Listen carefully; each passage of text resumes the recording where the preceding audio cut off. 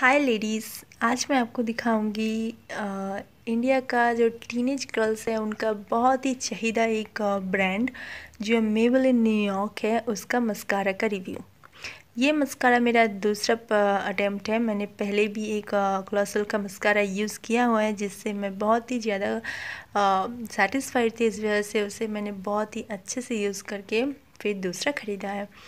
इससे मैं सेटिस्फाइड इसलिए थी क्योंकि इसका जो टेक्सचर है वो काफ़ी डेंस है बहुत गाढ़ा है जिससे जो है आपकी आँखों की पलकें ज़्यादा गाढ़ी लगती है। कोई भी चीज़ अगर आप मस्करा अगर कोई भी मस्करा जैसे पतला मस्करा आप अगर अप्लाई करते हैं तो पलक तो यू you नो know, जो खुली खुली पलक होती है वो तो हो जाती है बट उसका जो लैशेस का जो थिकनेस है वो ठीक पतला ही रहता है। इसलिए अगर आप ऐसा कुछ गाढ़ा इस्तेमाल करते हैं तो वो घना लगता है। क्योंकि सारी जो पलकों के जो हेयर है अलग अलग होती है और फिर उसमें दो तीन लेयर डालेंगे तो वो मोटा बहुत बनता है। इस तरह से आपकी पलकें जो बहुत घनी और आँखें बड़ी लगती हैं और खुली खुली तो वो आप लगती ही कोई भी मस्करा लगाने पे तो यही इसकी खासियत है, घना लगता है आपकी पलकें। और ज़्यादा ब्लैक लगते हैं। जो फॉरनर्स है या जिनकी पलकें थोड़ी ब्राउनिश हैं वो इसे लगाएँगी तो और ज़्यादा आँखें सुंदर लगेंगी।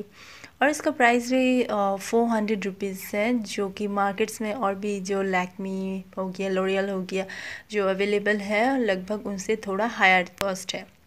चीज़ मैं आपको ध्यान दिला दूँ कि इस प्रोडक्ट को आप ज़्यादा देर तक ना रखें। आई मीन टू से कि आप इसे, चलो आज ख़रीदा तो डेली डेली यूज़ करके छः महीने के अंदर ख़त्म कर दे, क्योंकि आप दो साल, तीन साल लग चलाएँगी तो ये जम जाता है। फिर आपको बिना यूज़ के ही फेंकना पड़ता है। और जम जाने के बाद ना ये ब्रश पे उठता है, ना आपकी आँखों पे लगता है, एकदम स्टिकी हो जाता है ग्लू लाइक तो बेटर है आप जब इसे ओपन करें उसी के बाद ही उसके बाद से लेकर के छः महीने तक इसे फिनिश कर दें। कोई भी प्रोडक्ट इन कॉस्मेटिक्स जो है उसे ज़्यादा लंबा ना चलाए क्योंकि हमारे स्किन में उसके साइड इफ़ेक्ट्स हो सकते हैं। सो so, ये इस प्रोडक्ट्स का रिव्यू था। आई होप आपको अच्छा लगा होगा। अगर आप और भी कुछ जानना चाहते हैं तो कमेंट बॉक्स पर कमेंट करें क्योंकि I am fond of cosmetics और मैं इन सब के बारे में रिसर्च करती रहती हूँ। जितना ही बस में होगा मैं आपकी हेल्प करूँगी। Thanks for watching